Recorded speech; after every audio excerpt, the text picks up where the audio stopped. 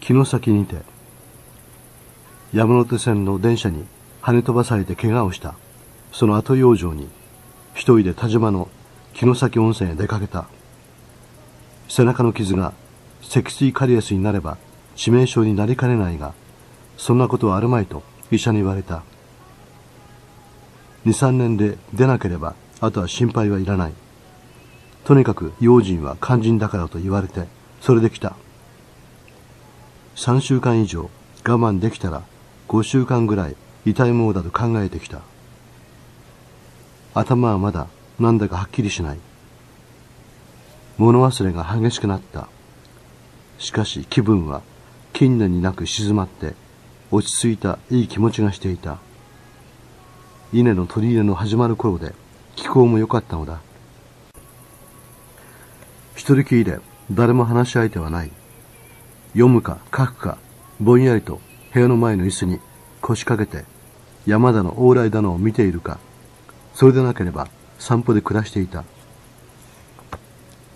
散歩するところは町から小さい流れについて少しずつ上りになった道にいいところがあった。山梨荘を回っているあたりの小さな節になったところにヤマメがたくさん集まっている。そしてなおよく見ると足に毛の生えた大きな川ガニが石のようにじっとしているのを見つけることがある。夕方の食事前にはよくこの道を歩いてきた。冷え冷えとした夕方寂しい秋の山峡を小さい清い流れについて行くとき考えることはやはり沈んだことが多かった。寂しい考えだった。しかしそれには静かないい気持ちがある。自分はよく怪我のことを考えた。一つ間違えば今頃は青山の土の下に仰向けになって寝ているところだったと思う。青い冷たい硬い顔をして顔の傷も背中の傷もそのままで。祖父や母の死骸が傍らにある。それももうお互いに何の交渉もなくこんなことが思い浮かぶ。それは寂しいがそれほどに自分を恐怖させない考えだった。いつかはそうなる。それがいつか。今まではそんなことを思ってそのいつかを知らず知らず遠い先のことにしていた。しかし今はそれが本当にいつか知れないような気がしてきた。自分は死ぬはずだったのを助かった。何かが自分を殺さなかった。自分にはしなければならぬ仕事があるのだ。中学で習ったロードクライブという本にクライブがそう思うことによって激励激励されることが書いてあった。実は自分もそういうふうに危うかった出来事を感じたかった。そんな気もした。しかし妙に自分の心は静まってしまった。自分の心には何かしら死に対する親しみが起こっていた。自分の部屋は2階で隣のない割に静かな座敷だった。読み書きに疲れるとよく縁の椅子に出た。脇が玄関の屋根でそれが家へ接続するところが羽目になっている。その羽目の中に蜂の巣があるらしい。トラフの大きな太った蜂が天気さえ良ければ朝から暮れ近くまで毎日忙しそうに働いていた。蜂は羽の淡いからすり抜けて出るとひとまず玄関の屋根に降りた。そこで羽や触覚を前足や後ろ足で丁寧に整えると少し歩き回るやつもあるがすぐ細長い羽を両方へしっかりと張ってブーンと飛び立つ。飛び立つと急に速くなって飛んでゆく。植え込みの安手の花がちょうど咲きかけで蜂はそれに群がっていた。自分は退屈するとよく欄干から蜂の出入りを眺めていた。ある朝のこと自分は一匹の蜂が玄関の屋根で死んでいるのを見つけた。足を腹の下にぴったりとつけ触覚はだらしなく顔へ垂れ下がっていた他の蜂は一向に冷淡だった。巣の出入りに忙しくその脇を這い回るが、全く高齢する様子はなかった。忙しく立ち働いている蜂はいかにも生きているものという感じを与えた。その傍らに一匹、朝も昼も夕べも、見るたびに一つところに全く動かずに、うつむきに転がっているのを見ると、それがまたいかにも死んだものという感じを与えのだ。それは三日ほどそのままになっていた。それは見ていて、いかにも静かな感じを与えた。寂しかった。他の蜂がみんな巣へ入ってしまった日暮れ、冷たい河原の上に一つ残った死骸を見ることは寂しかった。しかし、それはいかにも静かだった。夜の間にひどい雨が降った。朝は晴れ、木の葉も地面も屋根もきれいに現れていた。蜂の死骸はもうそこになかった。今もその蜂と他の蜂がみんな巣へ入ってしまった日暮れ、冷たい河原の上に一つ残った死骸を見ることは寂しかった。しかし、それはいかにも静かだった。夜の間にひどい雨が降った。朝は晴れ、木の葉も地面も屋根もきれいに現れていた。蜂の死骸はもうそこになかった。今もその蜂どもは元気に働いているが、死んだ蜂は雨どいを伝って地面へ押し流されたことであろう。足は縮めたまま、触覚は顔へこびりついたまま、多分泥にまみれてどこかでじっとしていることだろう。外界にそれを動かす次の変化が起こるまでは、死骸はじっとそこにしているだろう。それともあれに控えていくか、それにしろ、それはいかにも静かであった。せわしく、せわしく、働いてばかりいた蜂が、全く動くことがなくなったのだから静かである。自分はその静かさに親しみを感じた。自分は、藩の犯罪という短編小説をその少し前に書いた。藩というシナ人が過去の出来事だった結婚前の妻と自分の友達だった男との関係に対する嫉妬から、そして自身の生理的圧迫もそれを助長し、その妻を殺すことを書いた。それは藩の気持ちを主にして書いたが、しかし今は藩の妻の気持ちを主にし、しまいに殺されて墓の下にいる、その静かさを自分は書きたいと思った。殺されたる藩の妻を書こうと思った。それはとうとう書かなかったが、自分にはそんな要求が起こっていた。その前からかかっている長編の主人公の考えとは、それは大変違ってしまった気持ちだったので、弱った。蜂の死骸が流され、自分の眼界から消えて間もない時だった。ある午前、自分は丸山川、それからそれの流れ出る日本海などの見える東山公園へ行くつもりで宿を出た。一の湯の前から小川は往来の真ん中を緩やかに流れ、丸山川へ川へ入る。あるところまで来ると、橋田の岸田のに人が立って何か川の中のものを見ながら騒いでいた。それは大きなネズミを川へ投げ込んだのを見ているのだ。ネズミは一生懸命に泳いで逃げようとする。ネズミには首のところに七寸ばかりの魚口が差し通してあった。頭の上に三寸ほど、喉の下に三寸ほどそれが出ている。ネズミは石垣へ這い上がろうとする。子供が二三人、四十くらいの車夫が一人、それへ石を投げる。なかなか当たらない。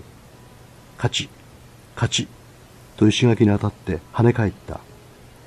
見物人は大声で笑った。ネズミは石垣の間にようやく前足をかけた。しかし、入ろうとすると、魚口がすぐに使えた。そしてまた水へ落ちる。ネズミはどうかして助かろうとしている。顔の表情は人間にわからなかったが、動作の表情に、それが一生懸命であることがよくわかった。ネズミはどこかへ逃げ込むことができれば助かると思っているように長い口を支えたまままた川の真ん中の方へ泳ぎ出した。子供や車夫はますます面白がって石を投げた。脇の洗い場の前で絵を漁っていた二三羽のアヒルが石が飛んでくるのでびっくりし首を伸ばしてキョロキョロとした。スポスポと石が水へ投げ込まれた。アヒルは頓虚な顔をして首を伸ばしたまま泣きながらせわしく足を動かして上流の方へ泳いでいった。自分はネズミの最後を見る気がしなかった。ネズミが殺されまいと死ぬに決まった運命を担いながら全力を尽くして逃げ回っている様子が妙に頭についた。自分は寂しい嫌な気持ちになった。あれが本当なのだと思った。自分が願っている静かさの前にああいう苦しみのあることは恐ろしいことだ。死後の静寂に親しみを持つにしろ死に到達するまでのああいう同窓は恐ろしいと思った。自殺を知らない動物はいよいよ死にきるまではあの努力を続けなければならない。今自分にあのネズミのようなことが起こったら自分はどうするだろう。自分はやはりネズミと同じような努力をしはしまいか。自分は自分の怪我の場合それに近い自分になったことを思わないではいられなかった。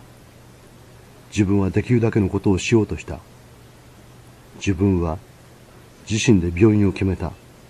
それへ行く方法を指定した。もし医者が留守で行ってすぐに手術の用意ができないと困ると思って電話を先にかけてもらうことなどを頼んだ。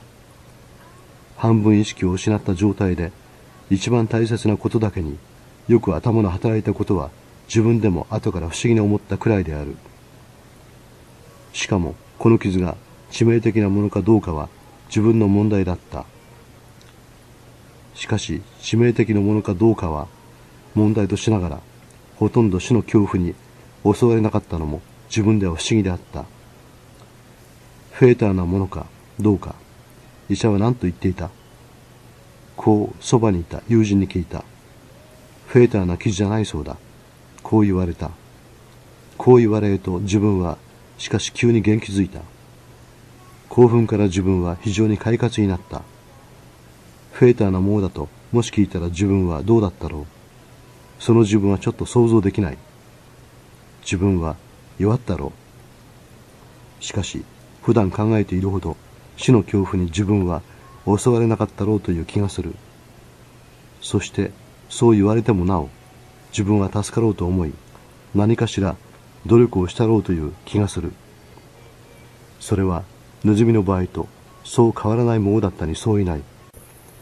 でまたそれが今来たらどうかと思ってみてなおかつあまり変わらない自分であろうと思うとあるがままで気分で願うところがそう実際にすぐはえでまたそれが今来たらどうかと思ってみてなおかつあまり変わらない自分であろうと思うとあるがままで気分で願うところがそう実際にすぐは影響はしないものにそういない。しかも両方が本当で影響した場合はそれでよくしない場合でもそれでいいのだと思った。それは仕方のないことだ。そんなことがあってまたしばらくしてある夕方町から小川に沿うて一人だんだん上への歩いていった。山陰線のトンネルの前で線路を越すと道幅が狭くなって道も急になる。流れも同様に急になって人家も全く見えなくなった。もう帰ろうと思いながらあの見えるところまでというふうに角を一つ一つ先へ先へと歩いていった。物がすべて青白く空気の肌触りも冷え冷えとして物静かさがかえってなんとなく自分をそわそわとさせた。大きな桑の木が道端にある。向こうの道へ差し出した桑の枝である一つの葉だけがひらひらひらひら同じリズムで動いている。風もなく長屋の他はすべて静寂の中にその葉だけがいつまでもひらひらひらひらとせわしく動くのが見えた。自分は不思議に思った。多少怖い気もした。しかし好奇心もあった。自分は下へ行ってそれをしばらく見上げていた。すると風が吹いてきた。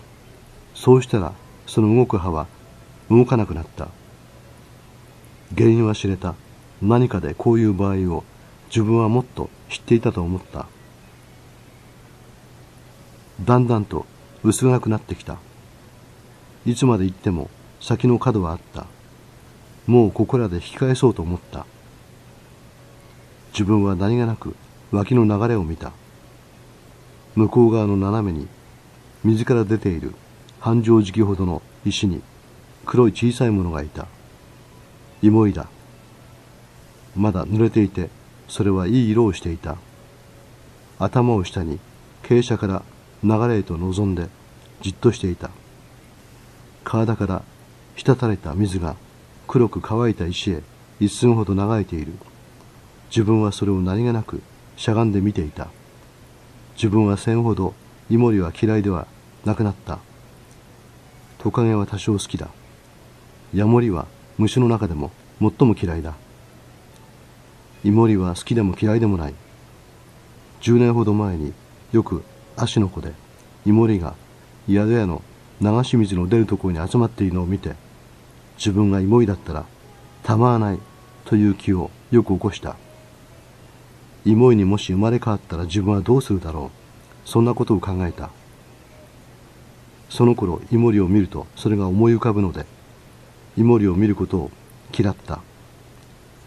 しかしもうそんなことを考えなくなっていた。自分はイモリを驚かして水へ入れようと思った。不器用に体を振りながら歩く形が思われた。自分はしゃがんだまま脇の困りほどの石を取り上げそれを投げてやった。自分は別にイモリを狙わなかった。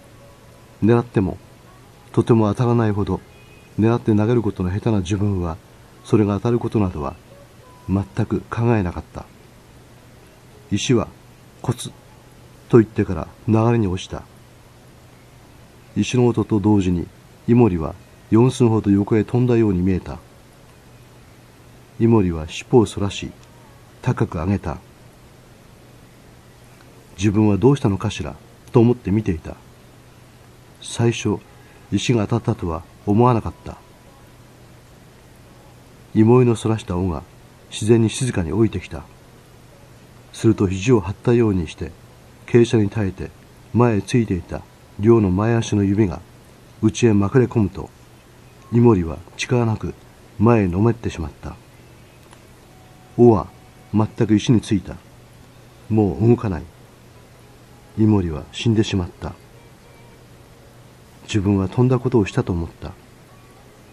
虫を殺すことをよくする自分であるがその気が全くないのに殺してしまったのは自分に妙な嫌な気をさした。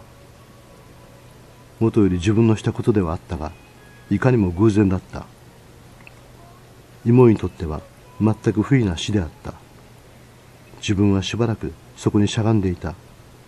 妹と自分だけになったような心持ちがして妹の身に自分がなってその心持ちを感じた。かわいそうに思うと同時に生き物の寂しさを一緒に感じた。自分は偶然に知らなかった。イモリは偶然に死んだ。自分は寂しい気持ちになってようやく足元の見える道を温泉宿の方に帰ってきた。遠く町外れの灯火が見え出した。死んだ蜂はどうなったか。その後の雨でもう土の下に入ってしまったろう。あのネズミはどうしたろう。海へ流されて今頃はその水ぶくれのした体をゴミと一緒に海岸へでも打ち上げられていることだろう。そして知らなかった自分は今こうして歩いている。そう思った。自分はそれに対し感謝しなければ済まぬような気もした。しかし実際喜びの感じは湧き上がっては来なかった。生きていることと死んでしまっていることとそれは両極ではなかった。それほどに差はないような気がした。もうかなり暗かった。視覚は遠い火を感じるだけだった。足の踏む感覚も視覚を離れていかにも不確かだった。ただ頭だけが勝手に働く。それが一層そういう気分に自分を誘っていった。